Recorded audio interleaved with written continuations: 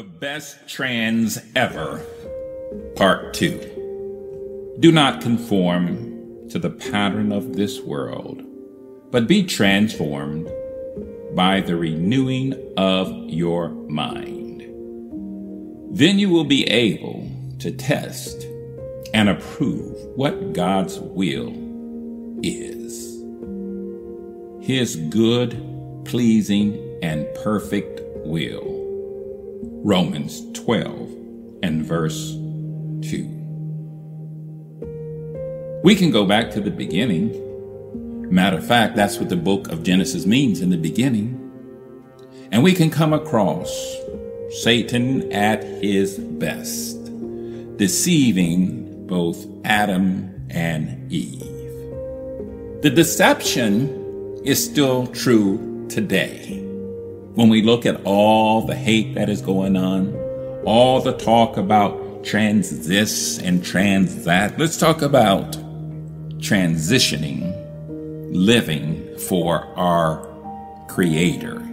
We know that in the book of Romans, what happens is people, they begin to worship the created things instead of the Creator.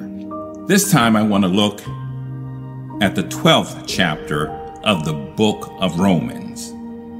Marks of a true Christian. Verse number nine. Love must be sincere. Hate what is evil. Cling to what is good. Now, yes, we want to hate what is evil. We don't want to hate on people. We want to love the person and hate the sin. And I guarantee you, if we do things the way that Jesus wants us to do, his plan will work. Verse number 10 Be devoted to one another in love, honor one another above yourself.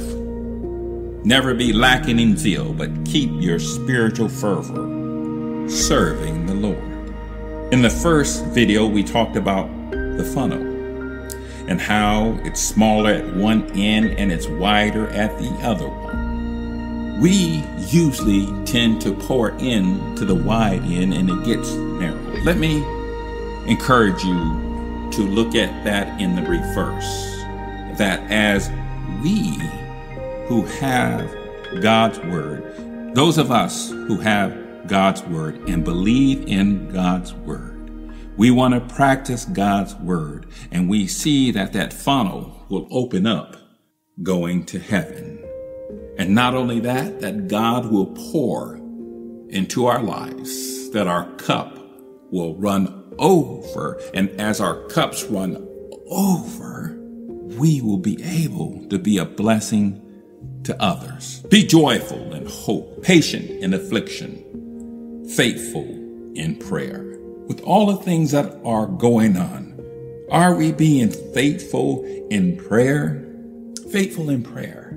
I mean, when we see those things going on in the world, are we being fervent? Are we being faithful in prayer, praying for the lost souls?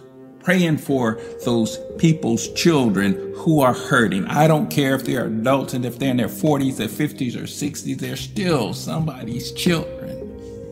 Most importantly, they're a child of God.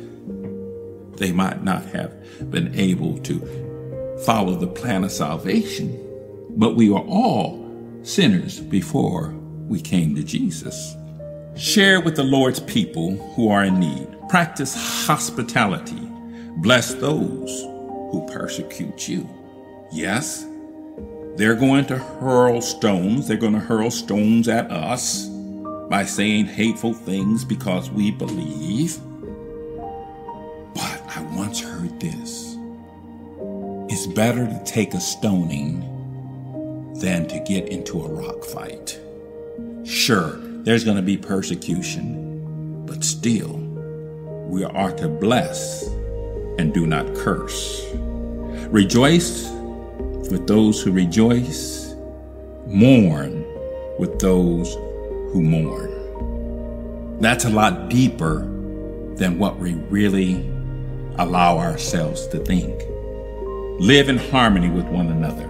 Do not be proud, but be willing to associate with people of low position. Don't be conceited.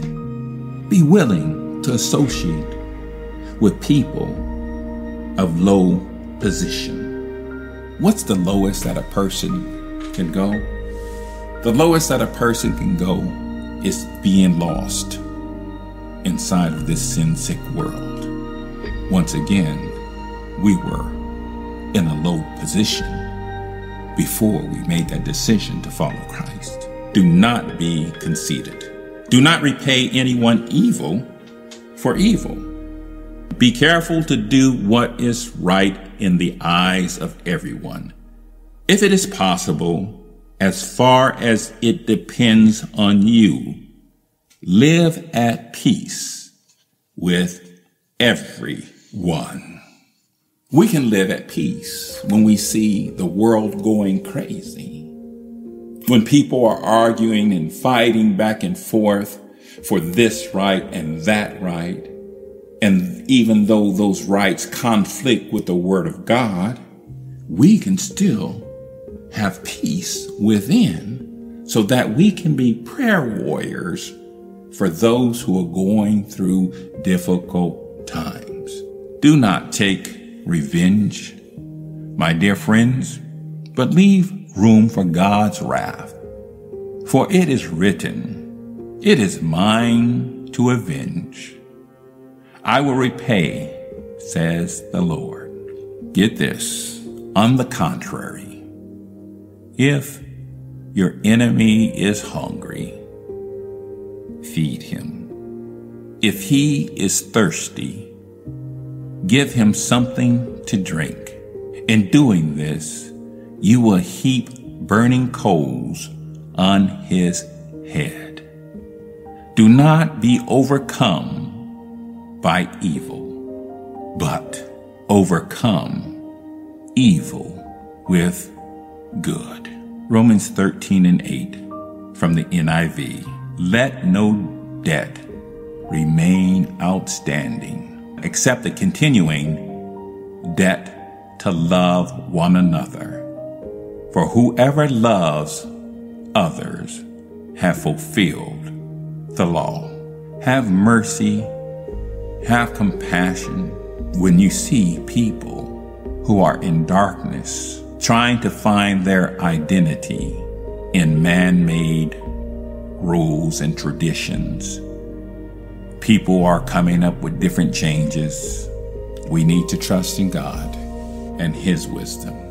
Be transformed by the renewing of your mind. Go with God.